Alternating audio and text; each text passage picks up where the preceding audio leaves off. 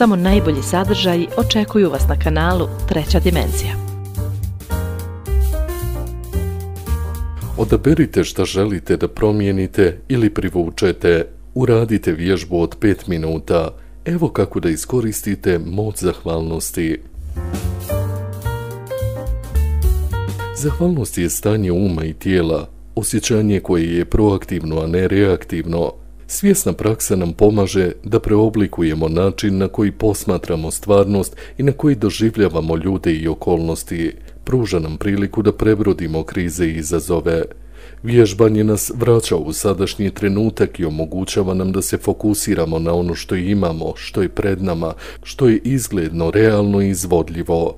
Također zahvalnost je energija sa visokom vibracijom koja rezonira sa kvalitetima koji imaju slične osobine, te je dobro poznato da u nama ne mogu postojati i ljutnje i zahvalnost u isto vrijeme. Zahvalnost će kreirati radost, pun doživljaj života i transformisati naše očitovanje stvarnosti.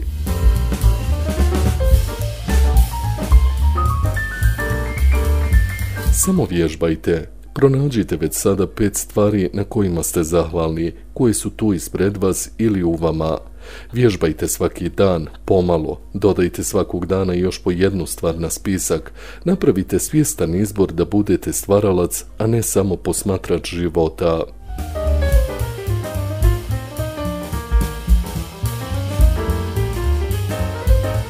Pet koraka do moći zahvalnosti. Prvi korak. Odaberite šta želite da promijenite ili privučete. Uobličite ono što želite. Budite određeni. Vaša želja treba da bude u okviru onoga što vjerujete da je ostvarivo. Ako je potrebno, prilagodite želju tako da vjerujete da je ostvariva.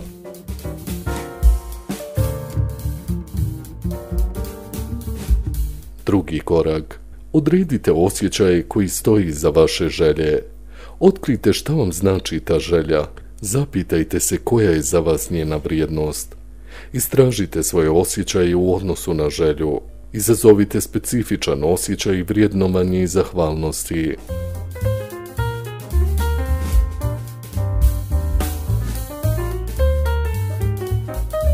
Treći korak. Izbacite sukobljavanje misli i stavova. Istražite šta mislite o onome što želite. Ispitajte sobstvene stavove u vezi sa željom, da li vam je dostupna i jesu li sposobni da je ostvarite. Negativne i oprečne stavove zamijenite pozitivnim. Radite na afirmacijama koje potvrđuju vaše nove stavove.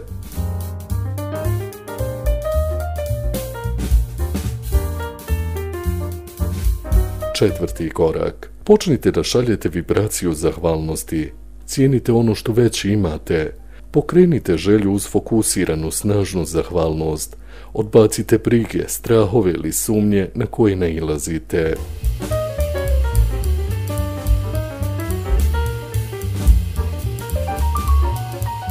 Peti korak.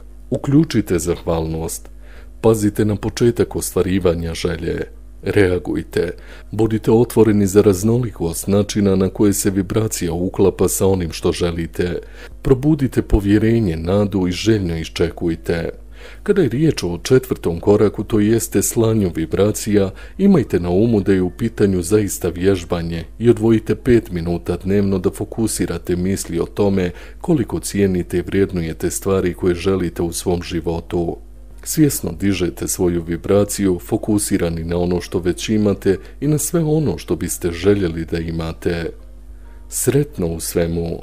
Ne mijenjajte kanal. Samo najbolji sadržaji očekuju vas na kanalu Treća dimenzija.